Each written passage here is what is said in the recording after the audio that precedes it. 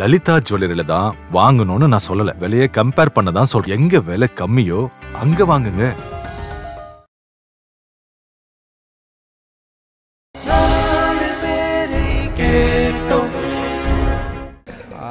பொண்ணு கல்யாணம் பண்ணுறது தான் ஈஸி ஏன்னா வந்து எல்லாம் நல்லா படிச்சிருக்காங்க. ஸோ அதனால் வந்து அவங்களுக்கு நல்ல ஆப்பர்ச்சுனிட்டிஸ் இருக்குது ஹையர் எஜுகேஷனும் போகிறாங்க ஸோ அதனால் அவங்களுக்கு ஆப்பர்ச்சுனிட்டிஸ் நிறையா இருக்குது பையனுக்கு வந்து அவ்வளோ வந்து ஒரு கிராஜுவேஷன்னா அதோட நிறுத்திடுறாங்க. ஃபர்தராக படிக்க மாட்டேன்றாங்க. அவங்க நிறைய அதாவது இந்த ஆன்லைன் கேமிங் அந்த மாதிரி போயிடுறாங்க. ஸோ அதனால் டைவெர்ட் ஆகுது. மெயினாக வந்து அதனால் வந்து கொஞ்சம் கிடைக்கிறது கஷ்டமாகுது. ஸோ பொண்ணுக்கு தான் பெட்ரு பையனுக்கு கல்யாணம் பண்ணுறது தான் இன்றைக்கி கஷ்டம்னு நினைக்கிறேன். இந்த பொண்ணுங்களோட மனநிலைக்கு வந்து அதுதான். அப்படி தான் இருக்கும். இதுங்க கண்டிஷன்னு இவங்க இப்படி மாப்பிள்ளை வேணும் இவ்வளோ படிச்சிருக்கணும் அப்படிங்கிறது அதுதான் கஷ்டம். இந்த காலத்தில் பொண்ணும் பையன் எங்கே கேட்குறேங்கிறாங்க அவங்க இஷ்டத்துக்கு பிடிச்சிட்டு ஓடி போயிடுறானுங்க. பின்ன பொண்ணாவது பையனாவது எது தான் தகப்பம் பேச்சை கேட்குது நூற்றில் ஒன்று ரெண்டு கேட்குது பாக்கி மேக்ஸிமம் அவன் இஷ்டத்துக்கு அவன் ஒன்று பிடிச்சிட்டு ஓடி போயிடுறான் இவன் ஒன்று பிடிச்சிட்டு இவன் ஓடி போயிடுறான்.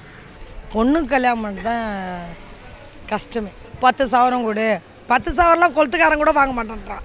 பாஞ்சு சவரம் இருபது சவரம் தான் கேட்குறான் இப்போ நல்லா கவர்மெண்ட் மாப்பிள்ளையாக இருந்தால் முப்பது சவரம் நாற்பது சவரம். நம்ம எப்படி கல்யாணம் பண்ணி கொடுக்குறது? சொல்லுங்க பார்க்கலாம். வயிற்று வாய் கட்டினா எவ்வளோ கட்டுறது? பிள்ளைங்கள்லாம் கஷ்டமே கிடையாது. அவங்க வீட்டு சாப்பாடு மண்டபம் கிண்டபம் அவங்க செலவு கொஞ்சமாக ஆகும். அதை நம்ம பண்ணிக்கணும் அவங்க நகை போட்டாங்கன்னா அந்த கஷ்டம் தெரியும்ல.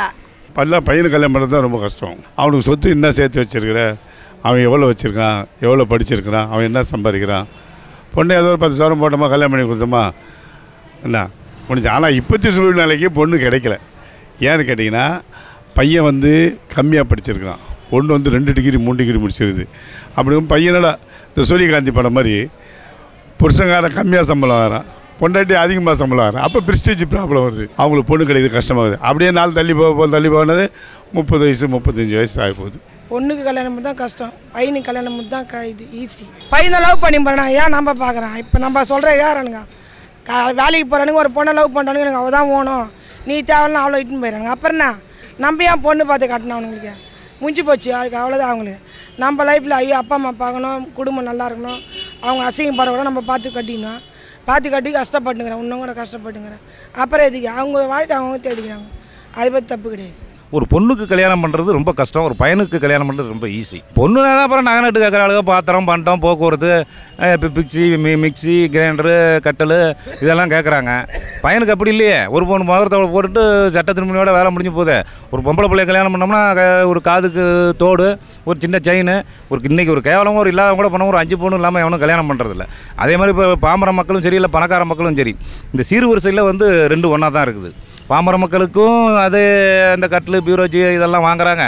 பணக்காரன் அதே தான் வாங்கி கொடுக்குறான். அதனால் செலவுகள் வந்து பணக்காரனுக்கு அதே தான் ஏழப்பட்டவங்களுக்கு ஒரே செலவாக தான் இருக்குது அது இந்த ஜென்ரேஷனில் பொண்ணுக்கு நிறைய மாப்பிள்ளை இருக்காங்க. ஆனால் பொண்ணு டிமாண்டாக இருக்குது இன்னும் என் பசங்க சின்னதாக இருக்குது வளர வளர அவங்க ஜென்ரேஷன் எப்படி போகும்னு தெரியல. ரெண்டு பேரும் கல்யாணம் பண்ணாலும் நமக்கு மணி தேவை. அது இருந்தால் ஈஸி ரெண்டுமே.